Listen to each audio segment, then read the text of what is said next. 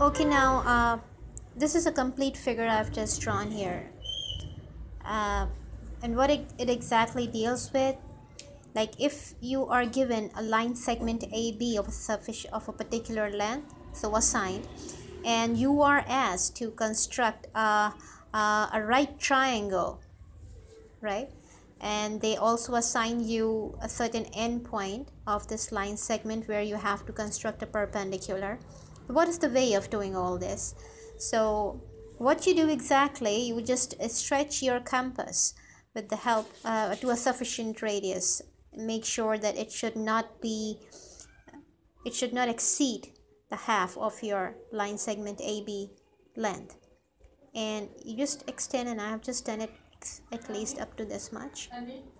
And I have just drawn a large curve like this. This is it now make sure that this this radius of your compass should be maintained. It should not be changed.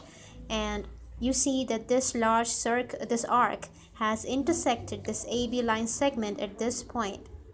Now maintaining the radius of your compass you put your needle at this point and you just draw an arc that I've just done it over here. Okay?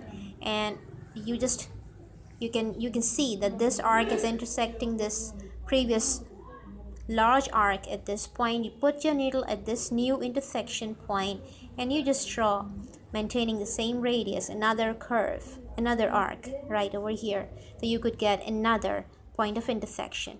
Now once this thing these two points are so obtained now you are free to to change the radius of your of your compass you can stretch it a bit more. And then you just put your needle one by one on these two points and you are going to draw these two arcs that I have just done already.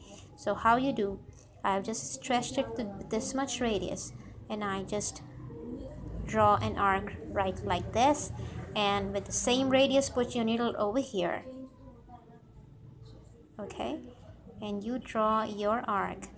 Such that it cuts the previous arc at this point okay that's so highlighted at this point.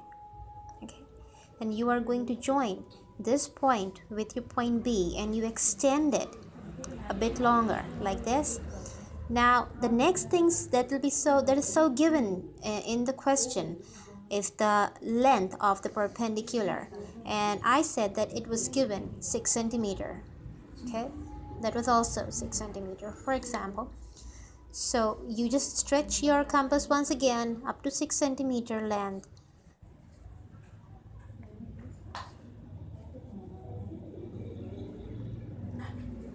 Carefully like this okay?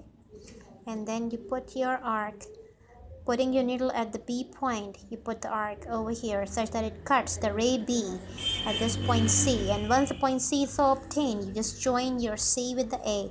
And now this right triangle is right over here. Right it is done. And having 90 degree at this point. So this is the way how you obtain a right triangle without using a protractor. So that's it